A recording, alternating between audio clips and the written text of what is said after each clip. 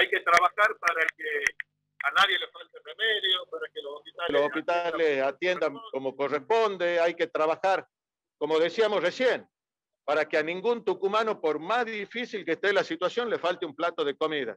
Pero también tenemos que trabajar para generar esta visión hacia adelante de dar trabajo, generando la infraestructura, generando las herramientas e incorporando fundamentalmente a la gente más pobre, a la gente que más lo necesita. Y eso es lo que siempre hablamos y eso es lo que siempre decimos. Por eso nuestros candidatos, que muchos de ustedes nos estuvieron acompañando, tienen clara cuál es la misión. Son compañeros nuestros, dirigentes nuestros, que le hemos encargado este desafío, que vayan a Buenos Aires, que se sienten en sus bancas y que defiendan el federalismo, que defiendan a Tucumán, que nos ayuden a gestionar todos los días para que Tucumán esté mejor. Eso es lo único que le pedimos y esa es la tarea que van a tener todos nuestros candidatos. Entonces, Omar, lo que, lo que se decía recién, este, en relación al, aumento del 15%, ¿no? El, adelanto que se ha firmado hoy. Eh, seguimos escuchando. todo lo que tienen apetencia, obviamente se, se presentan, digamos, a la compulsa electoral, así que yo lo veo bien la otra ala del peronismo, del vicegobernador, que hoy dijo que usted quiere perpetuarse en el poder como si fuera Gilles A ver, Jaldo viene diciendo una cantidad de barbaridades, digamos, ¿no? Y, y me, llama, me llama la atención, digamos, que un hombre grande y decir malas palabras, estar atrevido, insultar. Me llama, me llama la, la atención. Yo lo digo con mucha humildad.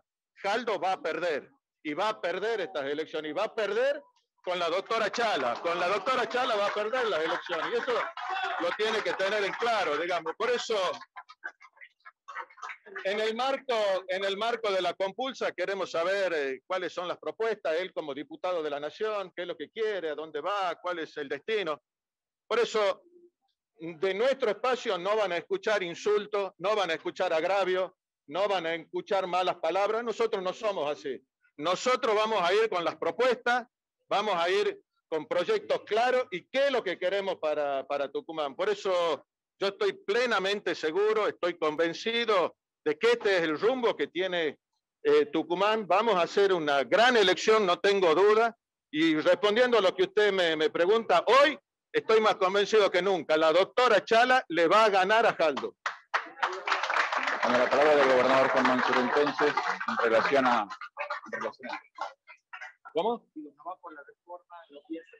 No, no, no, sabe el agua que va a correr hasta el 2023, por eso nosotros tenemos que consolidar este proyecto político ahora y tenemos que llevar los hombres y mujeres que cuidan y defiendan a Tucumán. Yo, este gobernador, hace seis años, seis años no tengo senadores nacionales.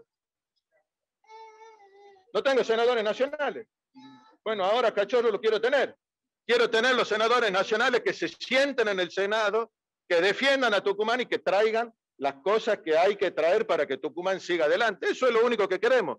Y de esto estamos convencidos. Y por eso es que presentamos nuestra lista con hombres y mujeres reconocidos de primerísimo nivel, gente buena, gente sana, compañeros dirigentes, militantes, que tienen prudencia, que tienen serenidad, está demostrada las credenciales que tiene cada uno de los compañeros que hoy nos está acompañando. Por eso yo no tengo duda, vamos a andar bien, vamos a andar bien, vamos a redoblar nuestro esfuerzo, vamos a llevar nuestro mensaje, un mensaje que integra, un mensaje que genere oportunidades y volverle a repetir, de nuestro espacio político no van a escuchar malas palabras, no van a escuchar insultos, no van a escuchar agresiones, no van a escuchar apriete, al contrario, nosotros le abrimos los brazos a todos los tucumanos que quieran sumarse para un Tucumán mejor.